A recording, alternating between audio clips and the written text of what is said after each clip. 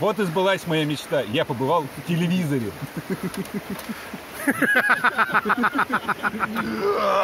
Подожди, подожди. Я ужасы выключу.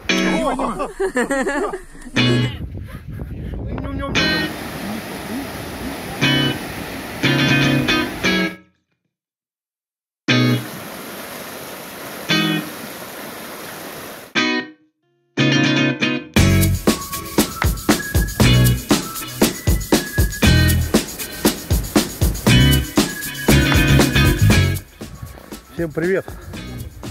Мы сегодня а, находимся в одном из интересных мест. Интересных он тем, что здесь в свое время добывали золото платину и неподалеку отсюда нашли первый алмаз. Вот я хочу вас познакомить со своими родными местами, где я вырос, и рассказать немножко их историю. А с нами сегодня, давайте посмотрим, Антоха, помаши ручкой. Влад, Марина, о, и где-то была еще Оля. Оля потерялась в кусты. Вот эта река, это река Ис. Она э, берет начало где-то в районе горы Качканар, выше нее, э, за Качканаром на Уральском хребте. И здесь уже у нее среднее течение. То есть вот можно посмотреть, что за река. Сейчас на реке идет половодье. Сама река интересна тем, что здесь э, находится одна из мощных золотоносных, золотоплатиновых провинций. И вся река практически в, все, на всем ее протяжении находится в таком антропогенном э, ландшафте. То есть э, здесь проходят разработки даже в современное время моют золото и платину. Весной полноводно, весела. Посмотрите, как течение работает. Мы находимся на верхнем ИСУ. И вот такая вот здесь стоит самодельная стелла прямо на развилочке. А, обратите внимание, есть а, вот тут надпись прииск Александровский а, прииск Косинский. То есть Косинский там прииск, Александровский, ну, видимо, тоже где-то тут. А, приисков здесь на самом деле много. Вот, все прииски, они, по-моему, объединяются в даче. Раньше объединялись, сейчас не знаю их структуру. Вот какой-то знак, и вот а, показан знак. На знаке можно разглядеть драга, так обозначено. Но это многоэтажная, большая драга, скорее всего. А сегодня мы увидим малую драгу. А вот наш пепелац. Так, а вот это вот называется Шуваловская грань. То есть сейчас мы видим памятник. Он вот такой вот в виде пирамидки. Есть э, небольшое... То есть помимо вот этой вот верхушки с шариками вот с этими забавными, да, чугунные шарики, есть вот такая вот стрелочка, обозначение Шуваловской грани. Она уходит вот туда, в лес. Есть еще вот такое вот информационная, э, такая вот информационная табличка. А, здесь написано открытие по реке Ис золото-платиновых месторождений. И обозначен, мы видим здесь старатель э, с ковшом босой елки. Я не знаю, когда была сделана табличка. И вот, наверное, это все-таки глухарь, потому что вот хвост такой раз, раздвояется. Видно сейчас, наверное. Вот, а, почему называется Шуваловской гранью? А, сам граф Шувалов, он здесь никогда не был. А, но вот эти места, Косинский прииск, а, Крестовоздвиженский прииск, а, где был обнаружен первый алмаз, они как раз считались владениями Шуваловых. И вот по этому месту, как раз вот по этой просеке, шла граница между шуваловскими владениями и владениями другого, другого золотодобытчика. А другой золотодобытчик это у нас там уже э, Исовской прииск, э, там Шуркина, Артельный, э, Борисовский и, собственно, вот э, Косинский прииск. И туда в сторону уже Перми. Вот такая вот интересная история у нас. Шувалов здесь не был, но имя его здесь так или иначе оно задокументировано и находится здесь. Река Ис. Странное, да, короткое название. Всего состоит из двух букв. Ис. А, наверное, вам уже встречалось название уже. Ис. Ис. И сеть. Знакомо, да? И Ис э, на тюркском языке означает собака. И сеть собачья река. Вот. Ну, собственно, Ис это тоже собака. Река Вы с тюркского э, шея входной улов перед мостом. Ну и сам мост. Прикиньте, в заводях еще лед стоит. Этот протока. Ну а теперь я немножко расскажу вам про историю этого места. Вот у нас ребята подходят.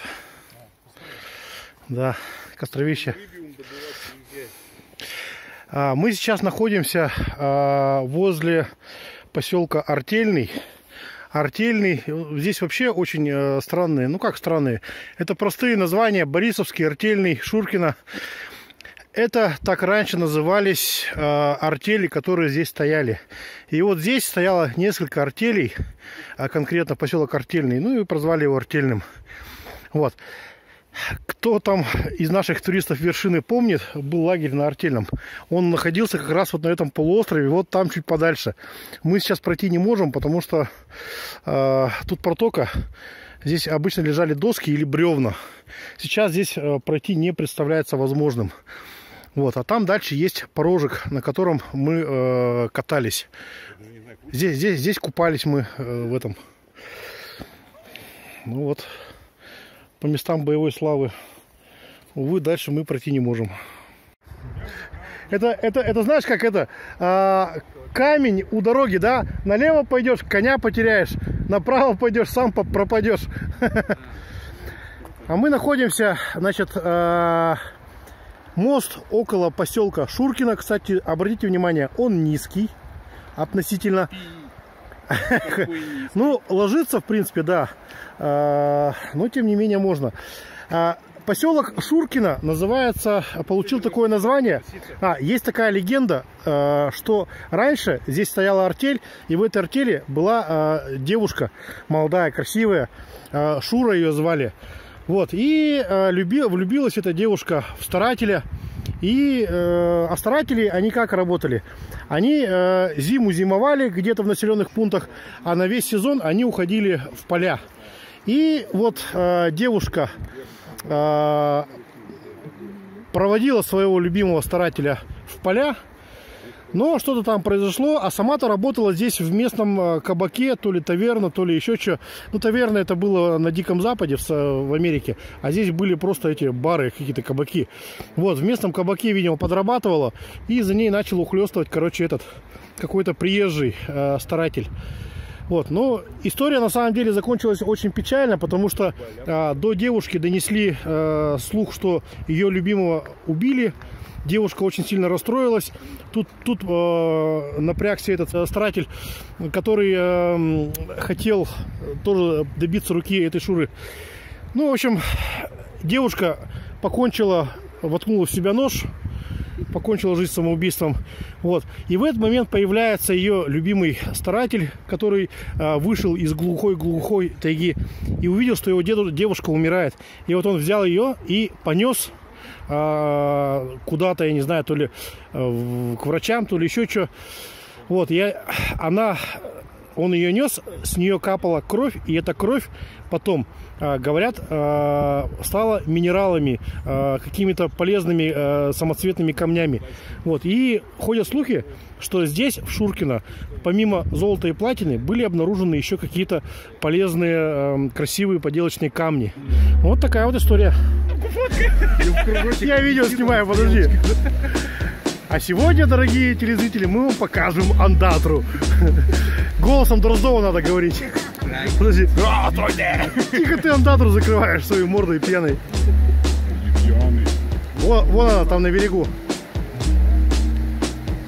Оля, ты пока до нее доберешься, а, подержи, у меня пленка кончится. Да я камни вкину. Да не надо, чего тут? Вон она уже смылась. Да все смылось. Да. Оля, все, потрачено. Вот и сбылась моя мечта. Я побывал в телевизоре.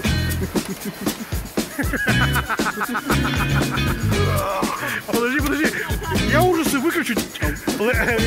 Чик-чик-чик.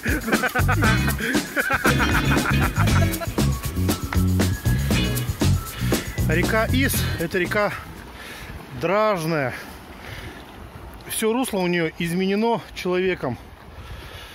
Ну вот в чем выразилось вообще как бы э, все антропогенное воздействие? Во-первых, здесь очень стало много островов.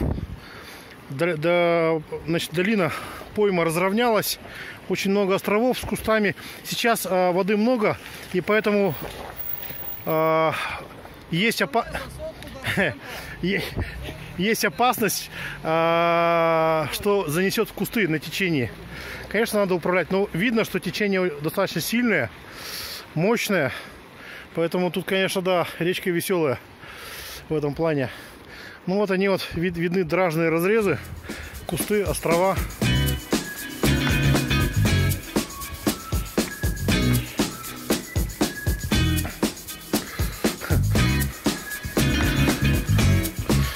Вот э, пример дражных островов. То есть мы видим, что э, русло раздвояется и по центру формируется остров. Это бывшие, ну, отсыпанные, э, переработанные драгой породы, которые уже заросли лесом. Вот, ну, как-то так. Река Ис в районе Нясминского моста. Мост на Нясминское ЛПУ. Вот ремонт моста у нас.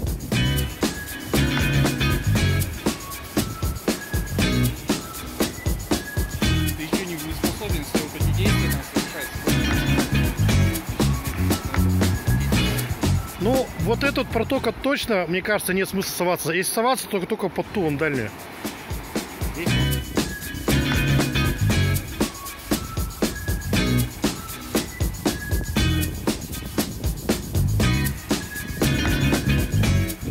Река Ис возле моста у Сигнального. Кстати, заметно верхушку Драги. Мы сейчас к ней идем. Ребята, это Драга, номер 27. Это малая драга. А, по сути, это плавучий завод по добыче россыпных драгоценных металлов. Ну вот немножко сейчас вам расскажу, как тут все устроено. А вот здесь вот э, видны ковши дражные. Их много. Э, вот эти ковши, они связываются в единую цепь э, специальными шатунами. Вон образцы, э, не образцы, а как бы этот, участки, э, звенья цепи лежат. Так вот, вот так вот сейчас увеличимся. Работает штука это следующим образом. Значит, э, ну это вот кран, чтобы можно было загружать какой-то груз там на драгу, тяжелые вещи. А вот то окно белое, там находится оператор драги, э, сидит. Э, значит, вот эта большая выносная конструкция, консоль с большим-большим количеством тросов, это основа всей, э, ну, как бы вот, э, это основание, которое поддерживает э, шину, ну, как у бензопилы. У бензопилы на шине, по шине двигается цепь, здесь тоже цепь двигается, но вместо резцов будут находиться вот эти вот дражные ковши. Я, к сожалению, дальше пройти не могу, потому что сегодня не рабочий день, и меня не пустили. Э, тут, получается, охрана стоит. Вот. И что-то что начало пищать сигнализация.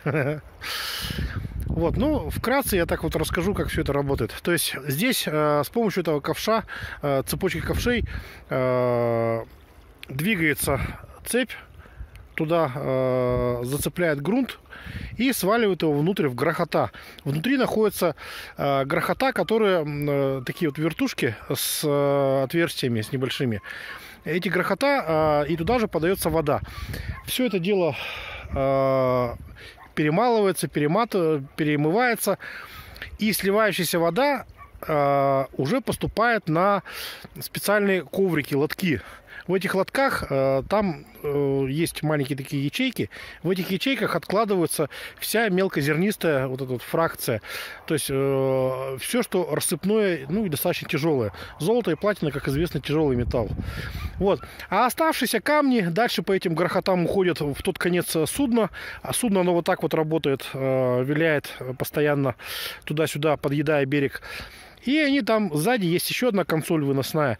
А, с той выносной консоли они э, откладываются эти породы в виде насыпи. И поэтому драж, дражные разрезы, размывы, их видно сразу. Вот, как-то так вот. Ну, похоже, что Драга это стоит на ремонте, потому что вот сейчас все ковши, то ли они их меняют, то ли еще что разобрали. Ну, вот они, вот все ковши, вот они здесь вот находятся сейчас. А вот я на фоне драги.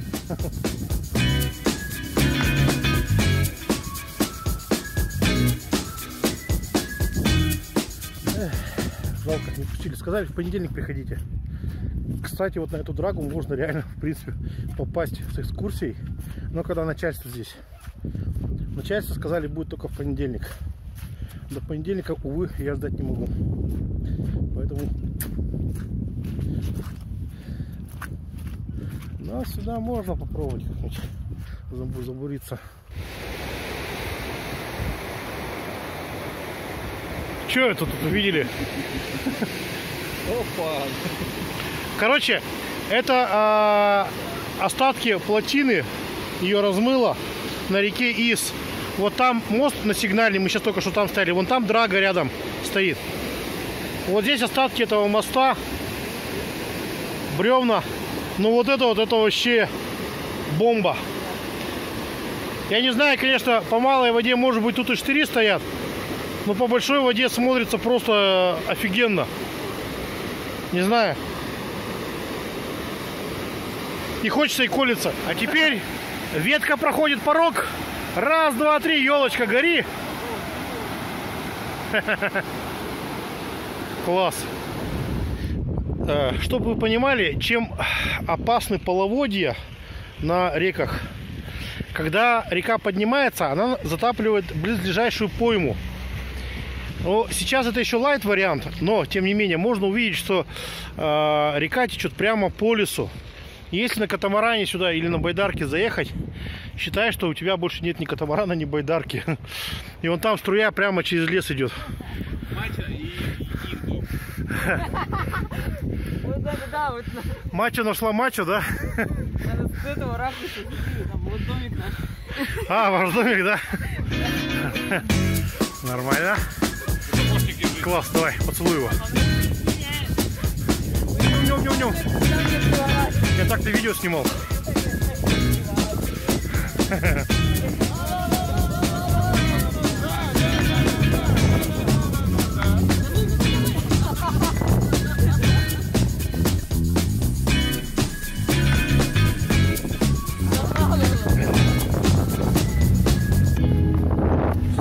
Весной, что мне дождик проливной, когда мои друзья со мной.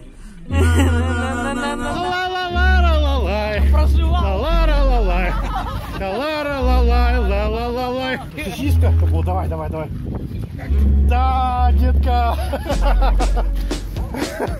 Новиков. Минералку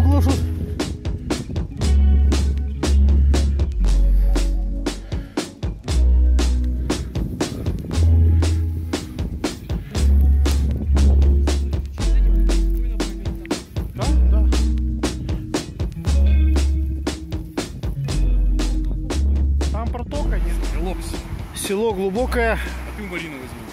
Мост через реку Ис. Ха, низенький мостик. Эть, эть, эть, эть. Ну да. Я этот мост еще помню. Его только строили. Село глубокое. Но оно прям на это, на стремине стоит. Ребят, ну чтобы вы понимали, смотрите. Воды сегодня очень много вот эти вот деревья, они обычно стоят на возвышенности, по суху. Вон там деревья и кусты. Сегодня воды очень много. Вот такие вот они, речки уральские. Но это река Ис. Собачья река, да. Тут прямо какая-то плотина организовалась. Сквозь деревья. Вода хреначит.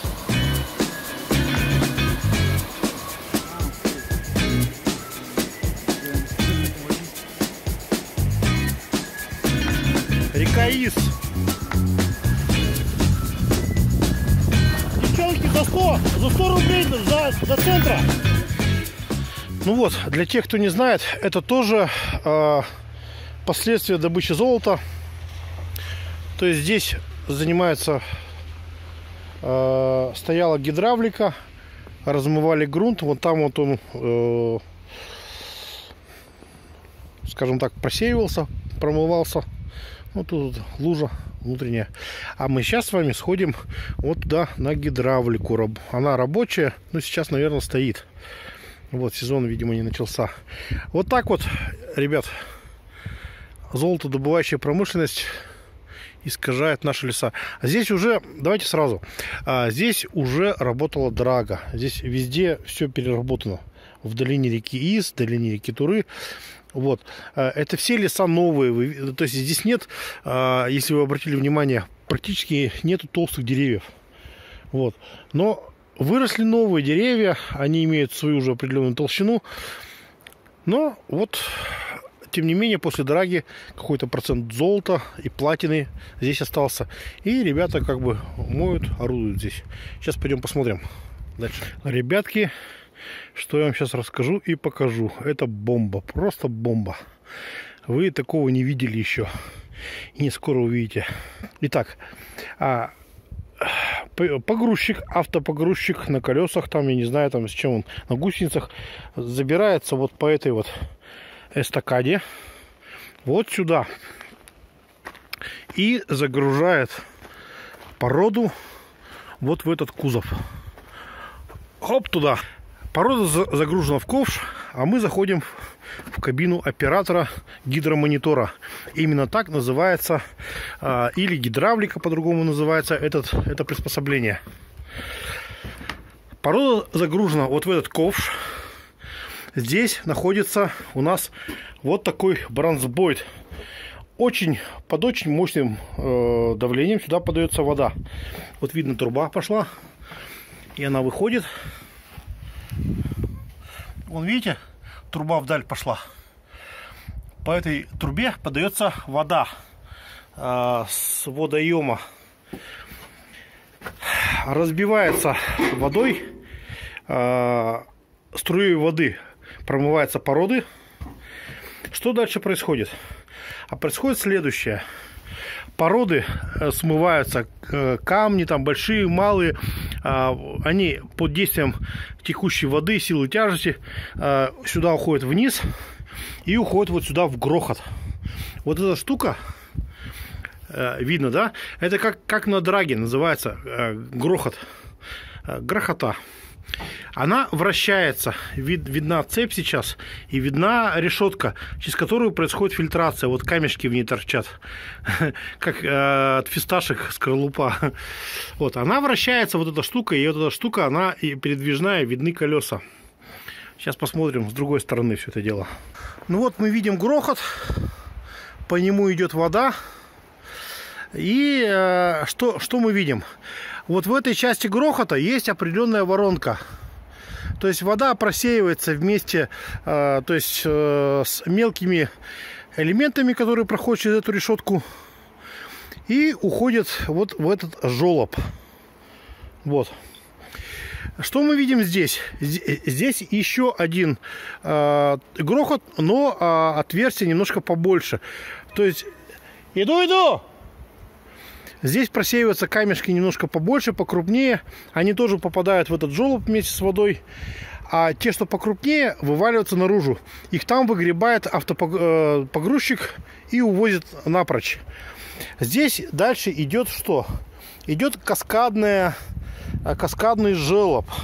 Видно, да? То есть э, один каскад, э, водопадик, второй водопадик, третий, четвертый и так далее.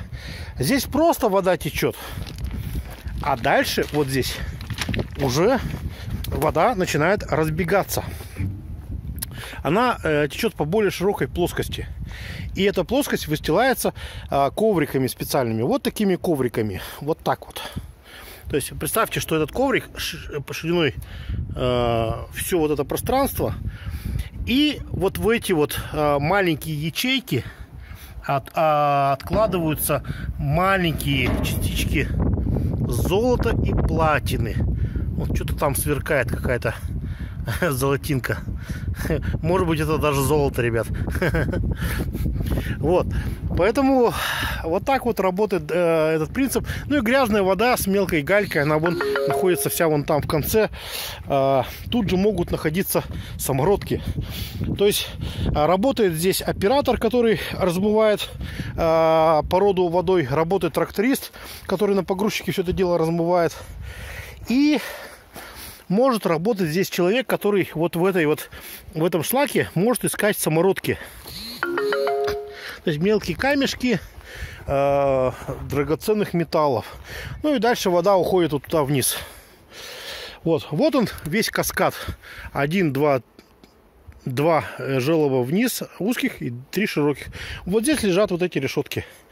Так что, господа, золото нам достается очень дорогой ценой. Вот чем это оборачивается. Ну, тем не менее, это все рентабельно, потому что вот так вот его добывают. Я вот несколько раз употреблял э, в рассказе термин грохот, грохота.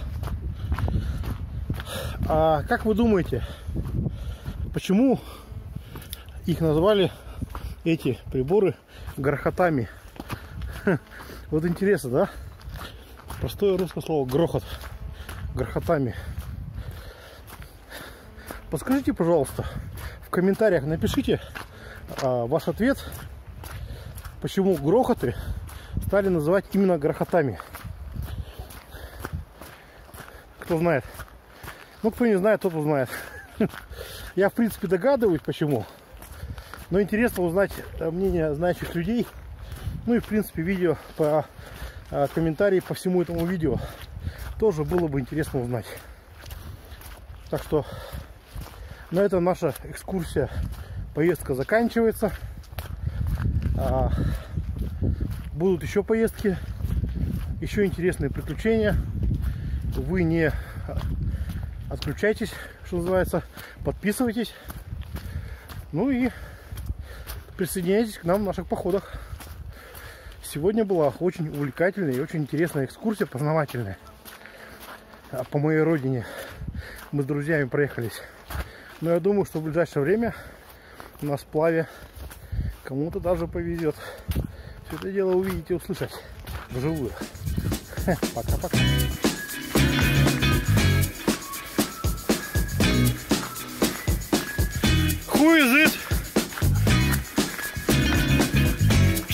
Было сейчас. Ну вот, ребята, наша поездка подходит к концу.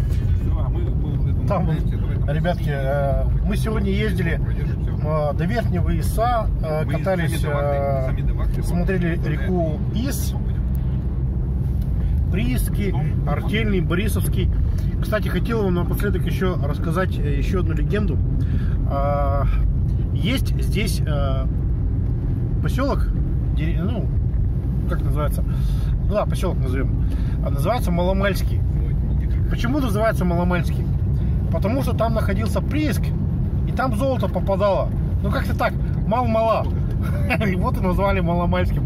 Всем пока. Панч!